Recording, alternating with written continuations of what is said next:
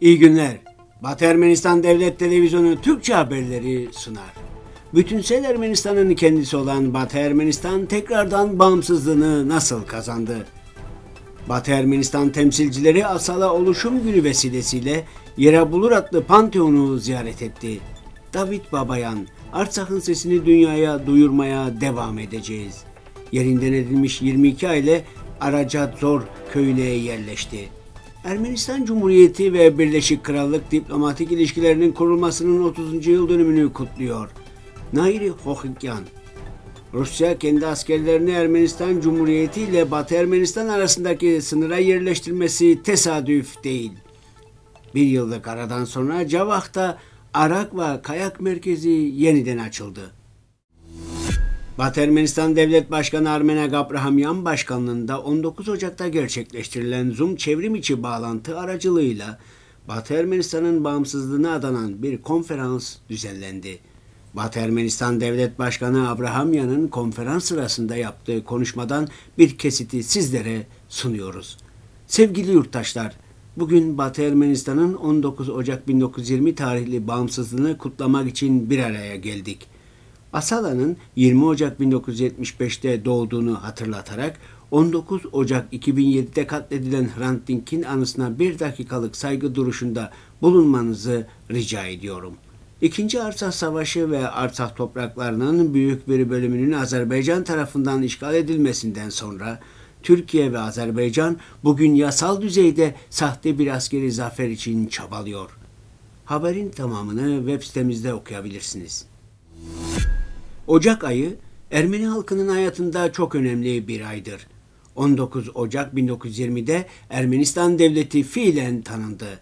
Asala Gurgenyanıkya'nın cezaevinden Ermeni halkına ve partilere başvurduğu 20 Ocak 1975'te kuruldu. Yanıkya'nın çağrısına sadece bir grup genç Ermeni halkının yaşadığını, Türkiye'nin işlediği soykırımların sonuçlarının taleplerine karşı Batı Ermenistan'daki yasal haklarından asla vazgeçmeyeceğini dünyaya ilan ederek yanıt verdi. Batı Ermenistan heyeti Ermeni halkının temsilcileriyle ve asala savaşçılarıyla birlikte ana vatanın kurtuluşu yolundaki kahramanlarımızın mezarlarını anmak için Yerebulur adlı şehitler panteonunu ziyaret etti ve saygı duruşunda bulundu.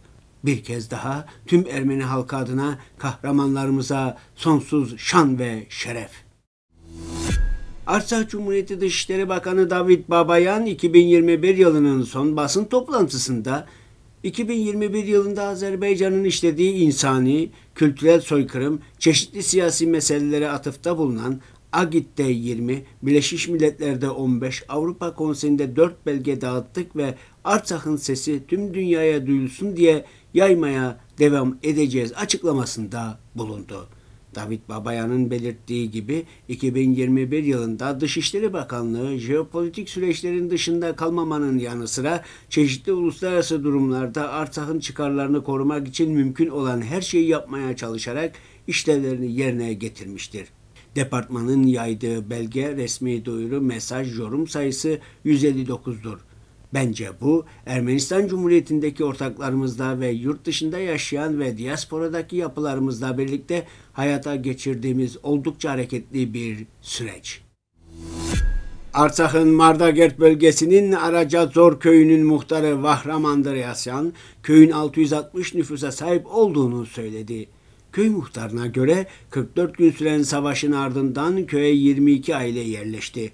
Okulda 129 öğrenci okuyor. 25 çocuk anaokuluna gidiyor. Köy idari merkezi köydeki boş evlerden birinde faaliyet gösteriyor. Sağlık ocağının tadilata ihtiyacı var. Köyde düğün salonu yok. Birkaç ay önce köyü karayoluna bağlayan yol asfaltlandı. Köyde doğal gaz dağıtımı, elektrik ve su temini sağlandı. Muhtar Bahram Andreasyan köylülerin asıl uğraş alanının tarım olduğunu ifade etti. Ermenistan Cumhuriyeti ve Büyük Britanya ile Kuzey İrlanda Birleşik Krallığı 20 Ocak'ta ikili diplomatik ilişkilerin kurulmasının 30. yıl dönümünü kutladılar.